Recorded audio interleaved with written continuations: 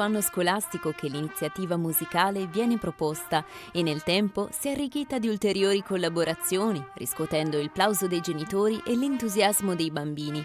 È il piccolo conservatorio, progetto ideato alla scuola primaria statale Trento Trieste di Cremona dai professori Antonino Campisi, laureato in musicologia e diplomato in tromba, e Carolina Ferraroni, diplomata in musica sacra, canto gregoriano e direzione di coro. Bambini dalla prima alla quinta fanno tre ore di musica alla settimana, che è tanto perché di solito musica è svolta o uno o due ore a settimana.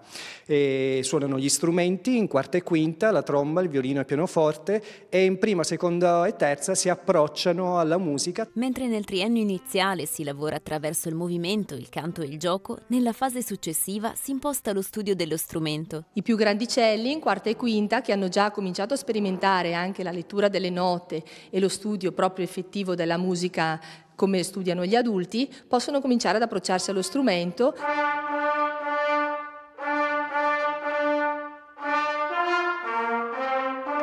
Il piccolo conservatorio coinvolge attualmente 200 bambini, molti dei quali decidono poi di proseguire il percorso presso la scuola Media Campi, opportunità formativa importante nella città della musica. Noi siamo un istituto comprensivo, l'Istituto Comprensivo Cremona 1, diretto dal dottor Pier Giorgio Poli, che prevede appunto una scuola media a indirizzo musicale, quindi chi vuole può proseguire o lo stesso strumento o addirittura provarne a suonare un altro. Oltre alle lezioni di musica curricolari ci sono due attività opzionali pomeridiane che alla fine conducono i giovani artisti sul palcoscenico.